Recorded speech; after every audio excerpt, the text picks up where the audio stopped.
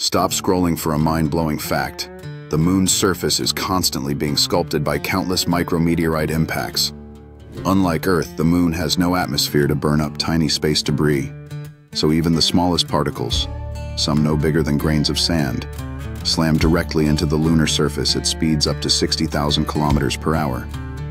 Each impact might seem insignificant, but over millions of years, these micrometeorites have given the moon its unique, dusty texture known as regolith. If you zoom in using high-resolution photography, you'll notice the surface is covered with minute craters, pits, and glassy beads, all evidence of these relentless impacts.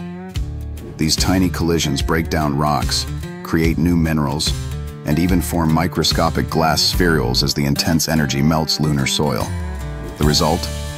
An incredibly complex microtopography with intricate patterns that tell the story of the moon's violent cosmic environment.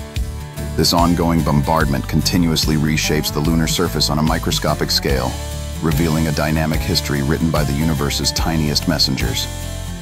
Next time you look at a photo of the moon, remember, every speck you see has a story etched by cosmic forces over billions of years.